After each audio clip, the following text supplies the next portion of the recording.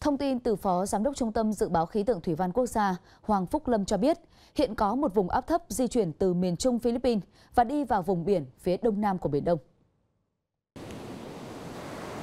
Dự báo ngày 29 đến ngày 30 tháng 4, vùng áp thấp này có khả năng mạnh lên thành áp thấp nhiệt đới.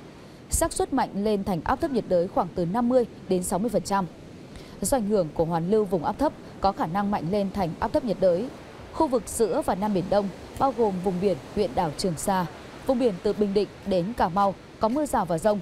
Trong mưa rông cần đề phòng tố lốc và gió giật mạnh. Theo Phó Giám đốc Hoàng Phúc Lâm, từ đêm 30 tháng 4 đến mùng 1 tháng 5, do ảnh hưởng của gió mùa đông bắc, gió trên vịnh Bắc Bộ, Bắc Biển Đông, bao gồm quần đảo Hoàng Sa, vùng biển từ Quảng Trị đến Quảng Ngãi, mạnh dần lên cấp 6, có lúc cấp 7, giật cấp 8, cấp 9, sóng biển cao từ 2 đến 3 mét, biển động mạnh. Khu vực từ Thanh Hóa đến Thừa Thiên Huế, khu vực Nam Trung Bộ, Tây Nguyên và Nam Bộ có khả năng xuất hiện một đợt mưa vừa, mưa to và rông.